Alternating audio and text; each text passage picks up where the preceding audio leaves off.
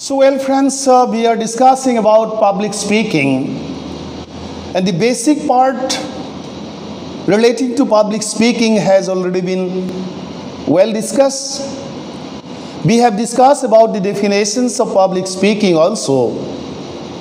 And here in this class, today we are to discuss about all those is- issues which are basically considered important for public speaking. Means for becoming a good public speaker, we are to know some of the most important parameters or aspects and our concept concerning to some of the important issues should be so much clear. Public speaking is a very practical process, friends.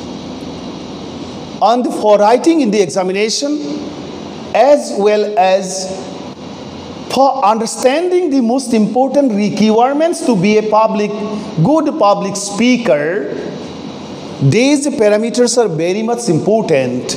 And that's why the title of the class is considered as Issues of Considerations for Public Speaking. Public speaking, as we have come to know, or you all have well been informed, is a very important tool for communicating with people of different age groups. We keep contact, we communicate to various people, means of a heterogeneous group. The group may be heterogeneous, the group may sometimes be homogeneous. So, in public speaking, the speaker communicates to either a heterogeneous group or a homogeneous group. In public speaking, the speaker is to satisfy what the speaker is to do. Social, these are very much important issues. You, as a public speaker in a particular platform, are to satisfy the social, cultural, religious, political, educational, economical, philosophical, literary, professional, and all other needs and demands of the audience. Means simply you never can deliver your lecture to satisfy a single parameter. Your lecture is to be a composite whole of various aspects of knowledge which are to be imparted to the to the audience to a house full or a room full of people. Let us see the next one. It is also defined means public speaking is also defined as the act or process of making speeches in public for the diffusion of one's feelings and spirits on a particular area of concern. Public speaking may also be defined as the art of effective oral communication with an audience on a specific area of concern or areas of concerns. Sometimes, as a public speaker, or to a public speaker, a specific area is given to deliver his or her lecture. Suppose you are invited by a particular agency or a particular unit to deliver lecture on higher education. Means it is prefix subject and you are to deliver your lecture. You are to speak on various issues of higher education. But sometimes as a speaker, you are to remain present to satisfy diverse parameters of the audience. And in such situation, all the specifications which have been given here in the earlier slide means the social demand, cultural demand, political demand, religious demand, economic demand, information relating to values all are to be touched by the speaker within a, limited time period. In public speaking, the speaker may require to speak either to a homogeneous group where there is homogeneity, similarity, or he she may speak to a heterogeneous group of audience where various UC people of varied age group may remain present as audience when we are to speak in public we must be attentive to the non-verbal reactions to the audience non-verbal reactions of the audience and be well prepared to respond to the reactions of the audience during the time of speaking or after the completion of the speech by the speaker. Means standing before the house full or room full of people or in a particular platform when you deliver your speech, you are to study the attentiveness of the audience. You are to study the non-verbal reaction the facial reaction, the body language of the audience so much well. And as a speaker, during the time of speaking, audience may feel, audience may, you see, feel the demand of asking you many questions on the delivery or on the subject which on which you have delivered your speech. And therefore you are to give the chance to the audience to put questions on all issues which you have or on the subject contents which you have spoken or communicated which you as a speaker communicate or you have communicated to the houseful or room full of people or to the this audience the speaker never can escape in replying the query or the queries of the participator or the participa- participators. Means once you try to, you see, escape yourself from the questions of the audience, your speaking will not be fruitful, effective. And that's why 100% freedom you are to give the audience to put questions so that you can, depending on your own knowledge on this area of delivery, satisfy the mindset or the intellectual level of the audience.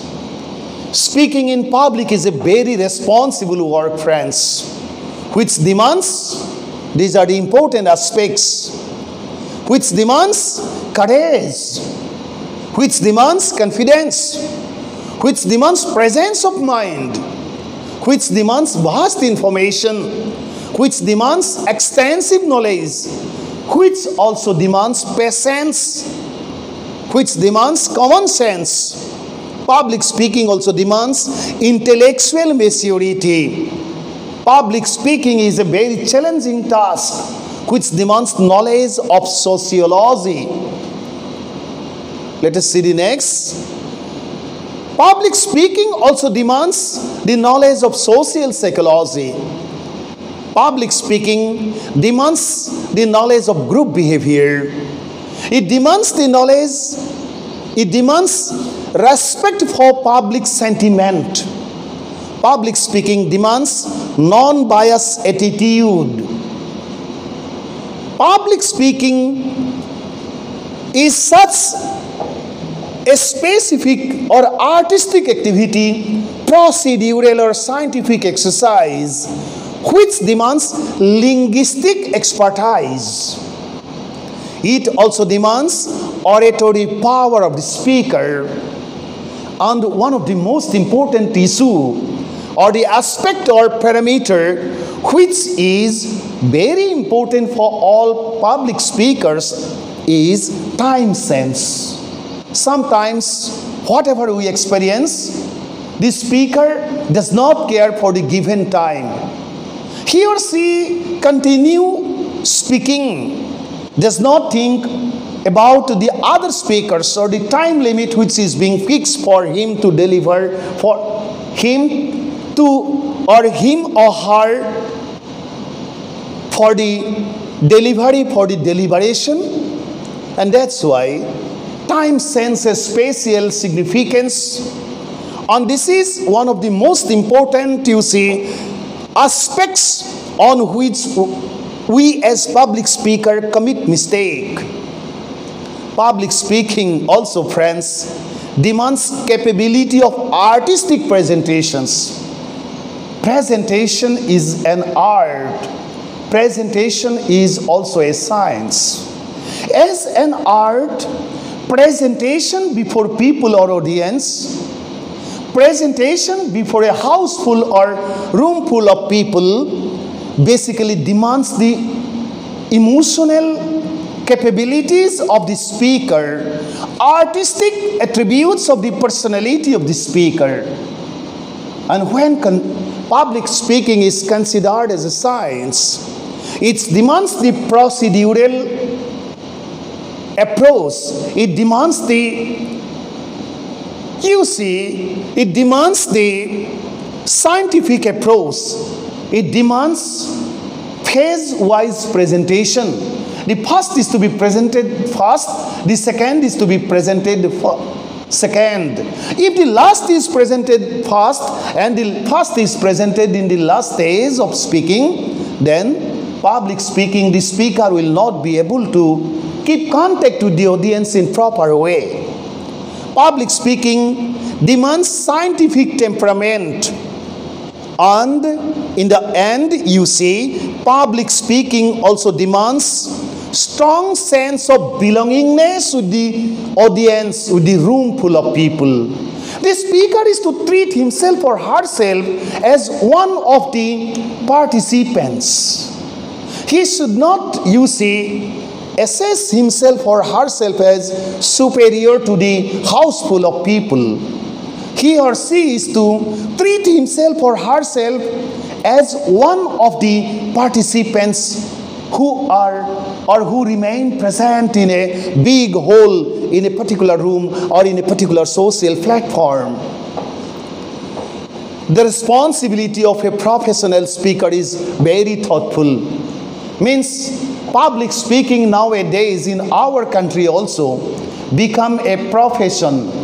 In other nations, advanced nations, developed countries of the world, public speaking is a very, very important profession where the speakers earn much.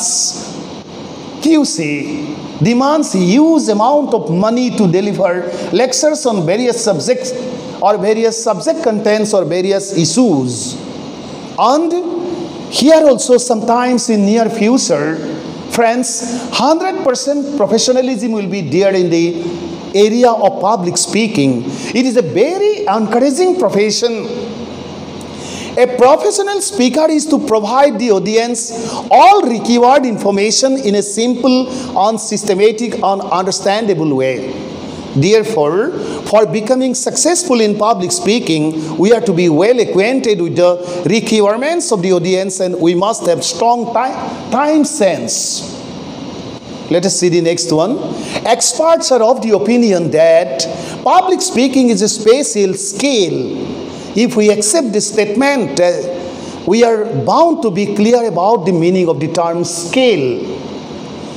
The term skill is the ability to use one's knowledge effectively and readily in execution or performance of a definite work.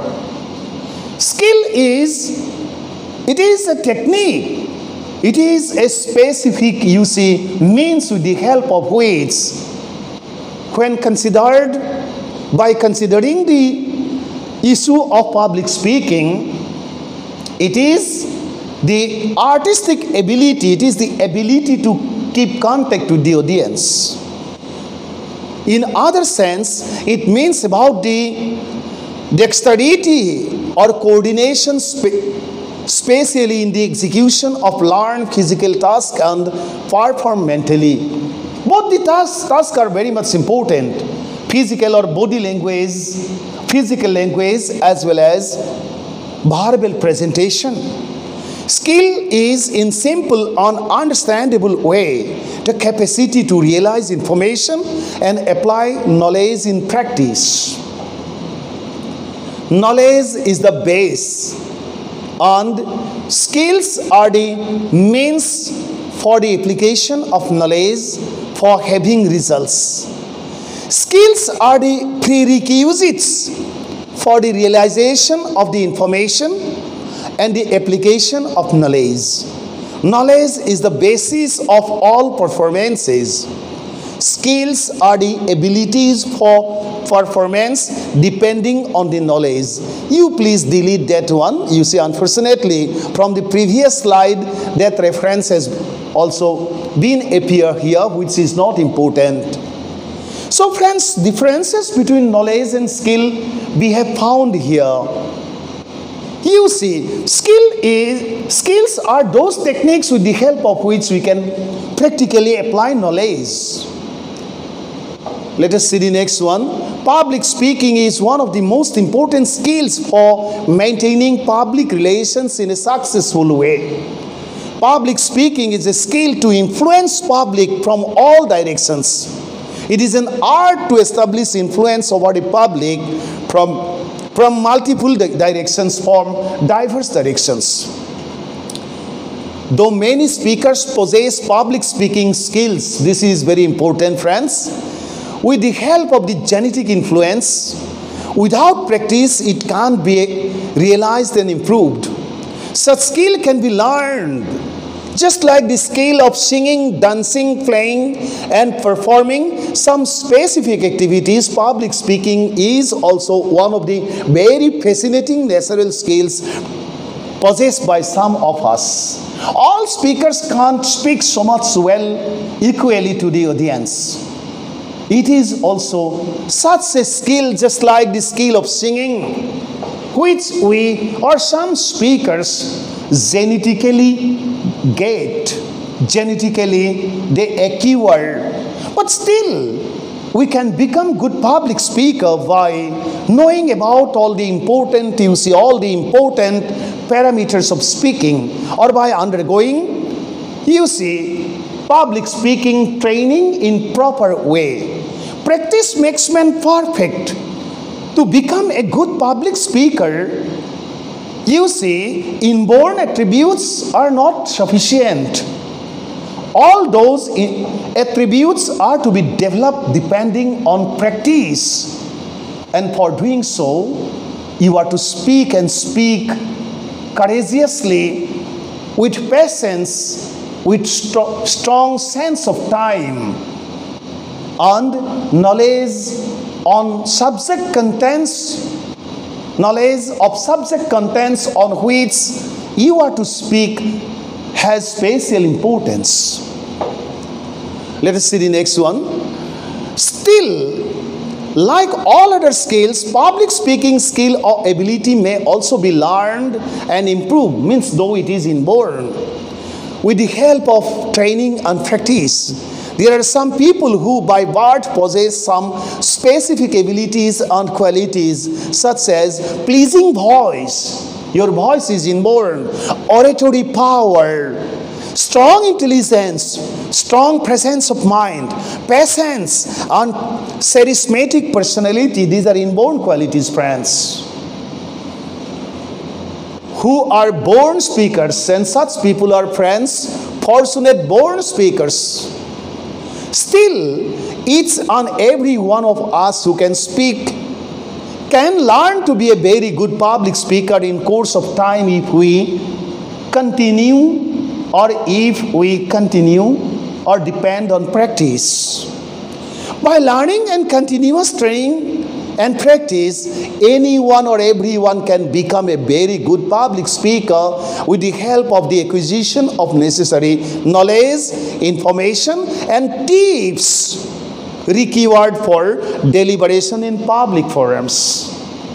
And this is the reason for which you are to study everything relating to or everything or all aspects, all contents relating to public speaking so that you can become a good public speaker, though you may not possess public speaking skill by birth. Let us you see stop here today for today. This much. These are some of the important considerations on which or to which we are to be quite mindful for becoming a good public speaker, friends. In near future, perhaps in India also, I hope public speaking area means in the area of public speaking, 100% professionalism will come.